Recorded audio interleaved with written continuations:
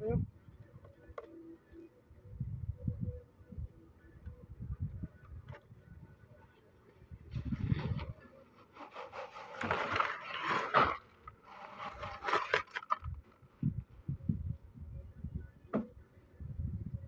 Uh, good evening guys.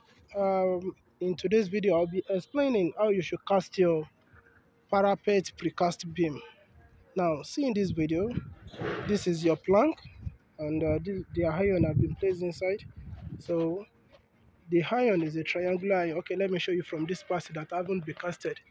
As you can see, is a triangular angle with three straight rod please make sure your ring this is the higher ring let it be in interval of 9 inches this is another ring as you can see in interval of 9 inches. Then after placing cast your concrete. Please make sure your concrete is very pure. Uh, the ratio we use in this both the aggregate and the sand and the cement is 9 8 pound. We have the stone of 5 8 pound the sand of 4 8 pound for 50 kg cement. So when casting your place, make it very pure so that it will be solid enough to carry the fascia you wanted to use. So you cast half. You cast half. So after casting the half, it will cover the two iron in the down part. Now it will now remain this one, this single one is the one you will use to install your parapet. Anyway, you can also use the rectangular shape of iron. So you can also use the triangular what the most important thing is your concrete should be very strong then the interval of your ring should be minimal. It shouldn't be so far from each other. So that the iron won't bend in the middle when installing your parapet. Here we use we use our 12 mm iron. Then the another type of uh, beam. Depends on the type of fascia you wanted to use. If it's a big fascia then let me show you this type you will use. Uh, you, have, you still need to add some iron. Let me show you. Yeah here it is you can see that this one is very very different from the other one I show you that is rectangular shape uh, that is triangular shape. This one is rectangular shape.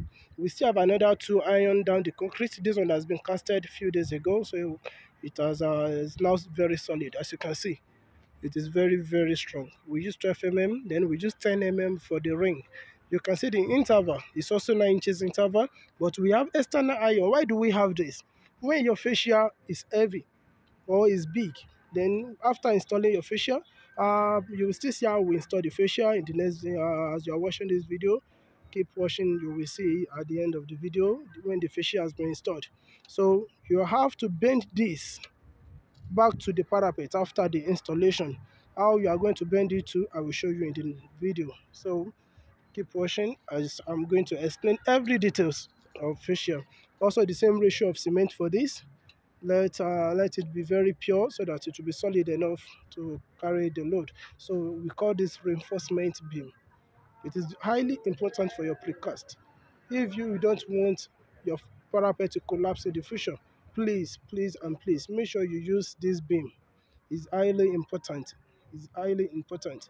Use this beam cast it half. As you can see this is the block and this has been casted four inches from here to here. This is four inches casted and we still have about five inches here. So after installation of the parapet you are going to cast the remaining part of the concrete with your parapet.